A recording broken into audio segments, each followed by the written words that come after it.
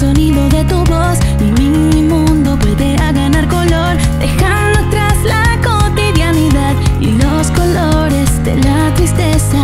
Si permito continuar este sentir, algún día en soledad se volverá, igual que si fuese una fruta azul que por su peso fuerte caerá. No sé nada sobre ti.